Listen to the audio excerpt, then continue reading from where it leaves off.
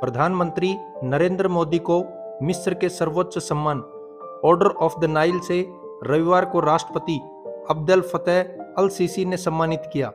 वर्ष 1915 में शुरू किया गया यह पुरस्कार उन राष्ट्राध्यक्षों, राजकुमारों और उपराष्ट्रपतियों को प्रदान किया जाता है, जो मिस्र या मानवता को अमूल्य सेवाएँ प्रदान करते हैं।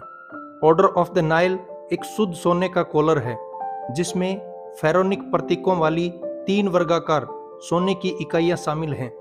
पहली इकाई राज्य को बुराइयों से बचाने के विचार से मिलती जुलती है।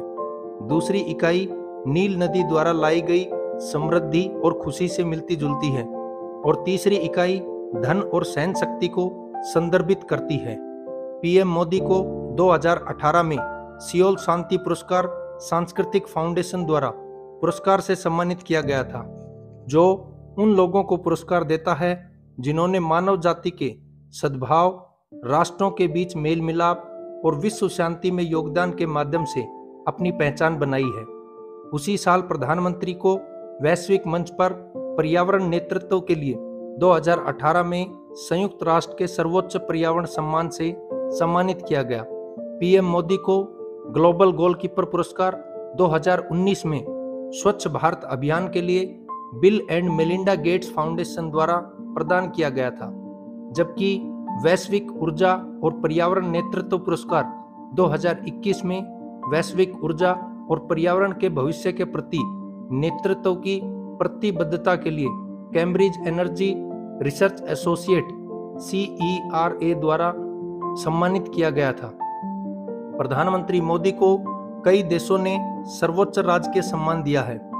प्रधानमंत्री मोदी को दिया गया यह तेरहवा सर्वोच्च राजकीय सम्मान है। मोदी को उनके कार्यकाल के दौरान अमेरिका, रूस और मध्य पूर्व सहित विभिन्न देशों से कई मानद पुरस्कारों से सम्मानित किया गया है।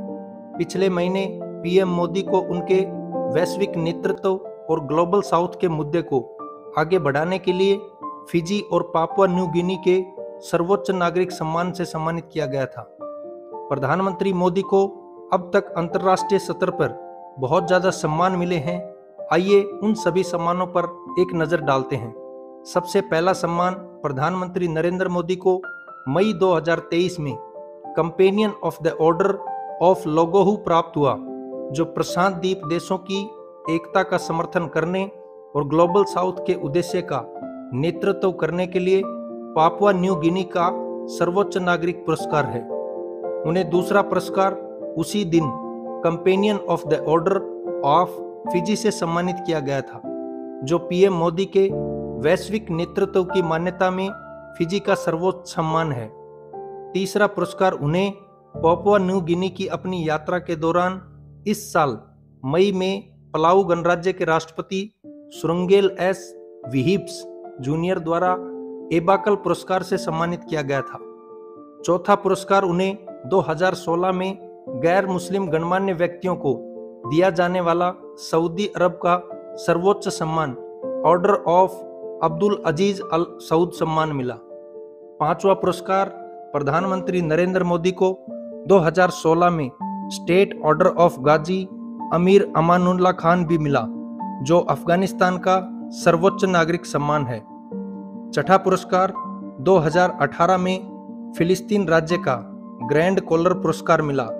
जो विदेशी गणमान्य व्यक्तियों को दिया जाने वाला फिलिस्तीन का सर्वोच्च सम्मान है।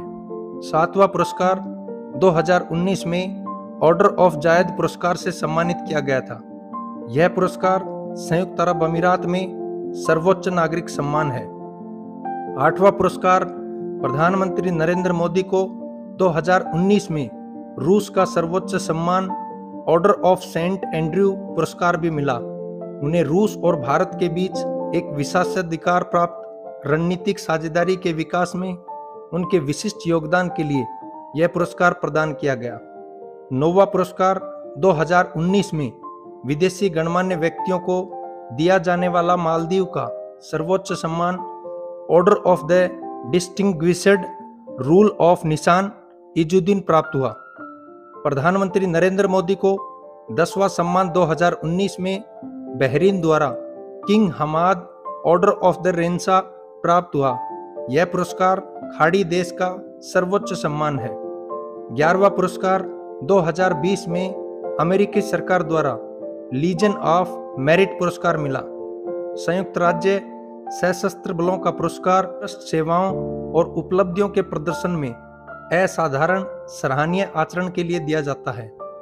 बारहवा पुरस्कार भूटान ने दिसंबर 2021 में पीएम मोदी को सर्वोच्च नागरिक अलंकरण Order of the Druk Gyalpo से सम्मानित किया।